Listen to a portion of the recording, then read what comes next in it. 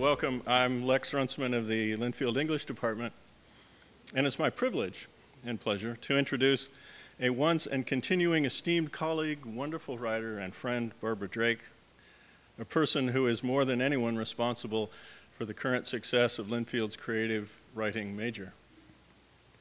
She is an accomplished essayist, essayist, as her book Peace at Heart demonstrates.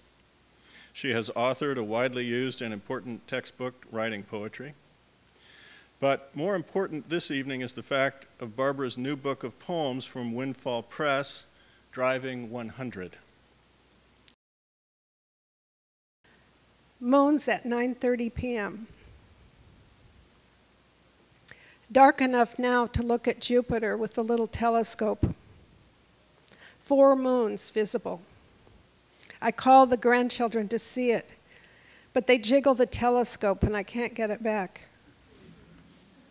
Mosquitoes are gathering. What is near is good also. Before going inside, we'll take a quick peek at our big white moon, our constellation moon.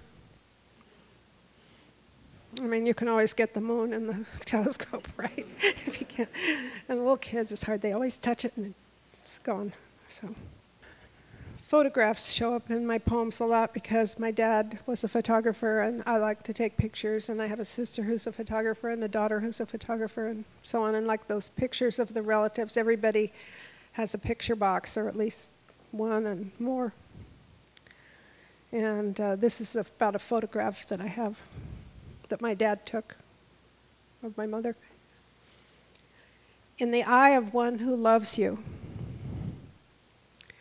the dunes fill the picture, their ribbed surfaces like sand at low tide. The shadows behind each dune black as the far side of the moon. And there is my mother, a tiny figure walking across the sand. I imagine she likes looking at this photograph because it reminds her of being in my father's eye as, from a distance, he took the picture. He is gone now, but in this picture, he always has his eye on her.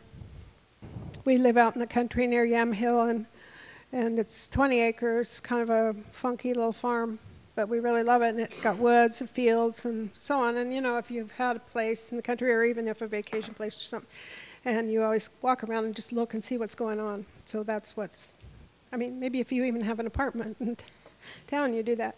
And so this is called The Rounds, and it's about going out and looking at the place. How do you speak to the tree in the field? With the voice of a red winged blackbird. And here I am in the pasture making my daily rounds. Every day is different, something new. Something with a face like silk and eyes from a science fiction movie. Something with breath like wind over yellow winter grass something with teeth or mandibles or roots, with egg sac fur or a stamen and pistil. How do you greet Frog's Pond in the West Pond? With amazement and expectation. One day, ice crystals are flashing their blue lights, the next, an intimation of spring in the changing color of lungwort, in the vibrations of dark pools at the base of oak trees. Where is the rose hip hidden in the thorny stem, in the thread of its being? Remember that ice and snowstorm we had a year ago at Christmas? I mean, a little over a year now. And uh,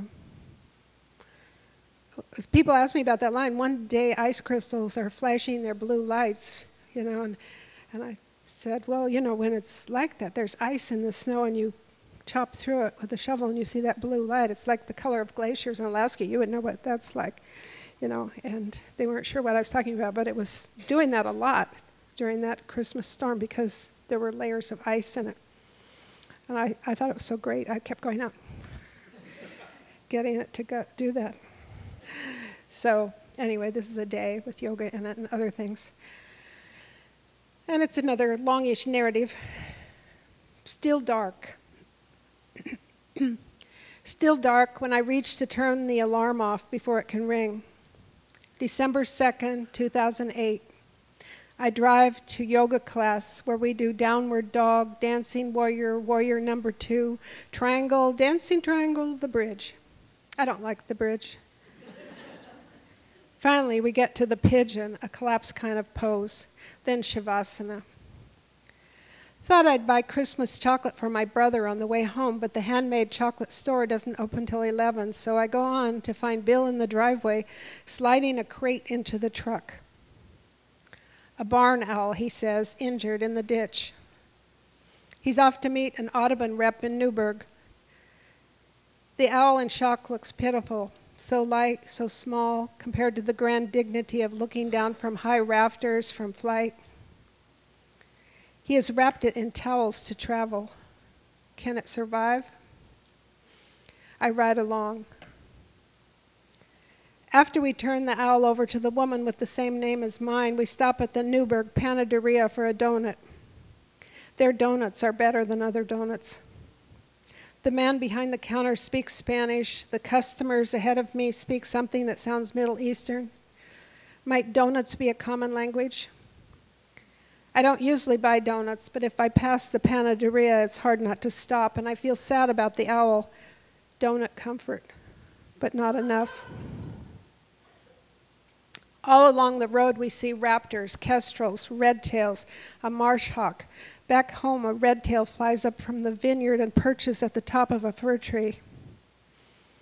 Do birds notice what happens to other birds? Bill asks me, should we call later and ask about the owl? I don't want to know if it dies, I tell him. He says he will call the Audubon office anyway. He won't tell me if it didn't make it. Well, I say, then that will be obvious.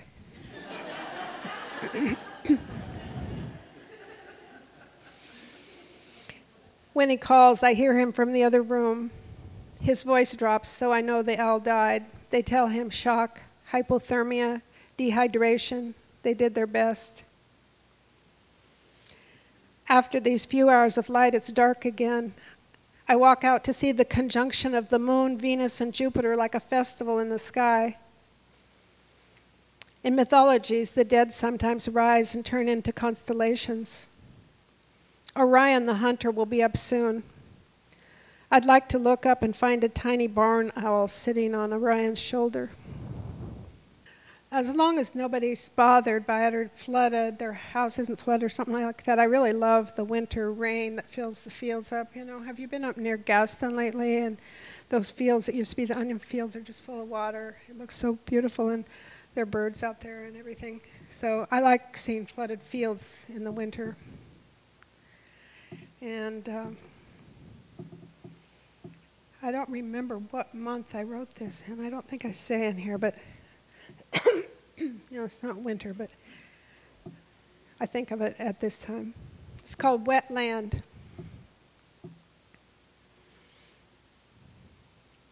Wapato is blooming this month. Sagittaria latifolia, a round root the size of hen's eggs.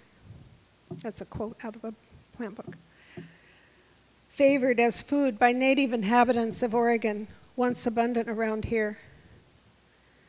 Driving north, I pass a pond full of wapato now blooming, the small white flowers elevated on long stems like spots of sunlight on shiny leaves. Later, going south, I see the farmer unloading drain pipe for the field at the curve.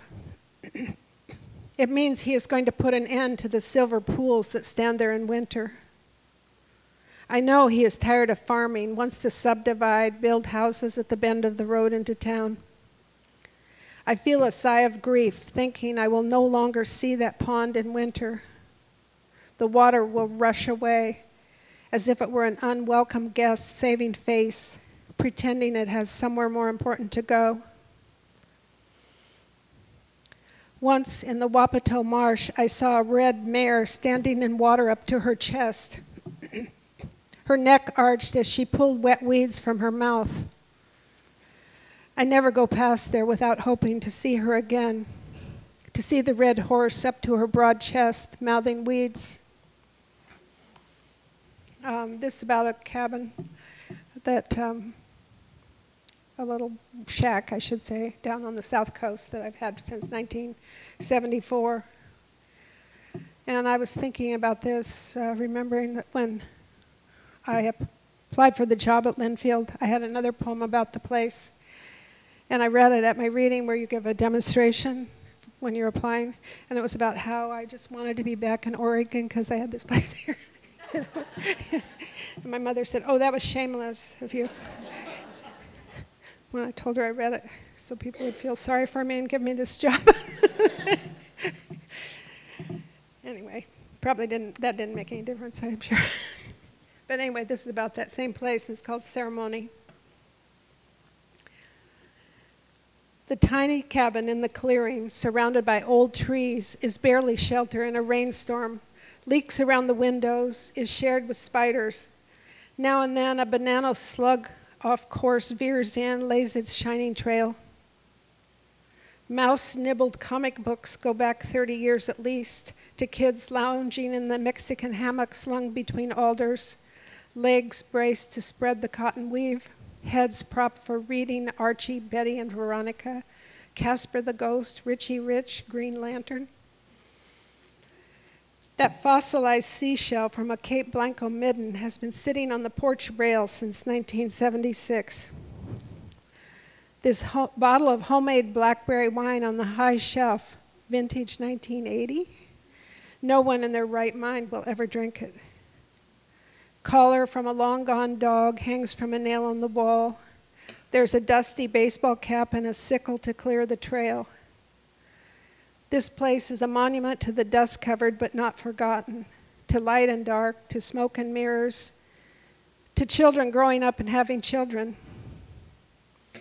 Each summer, we fill the place with new life, haul out the Coleman stove, light the propane lantern, beat down the grass, clip back a year's growth of blackberry vines, restock the outhouse with toilet paper kept dry under a rusted coffee can, sweep out spiders, webs, dead, dead flies, polish windows, plant tents in the clearing. spread sleeping bags, rebuild in the woods a village of kinship.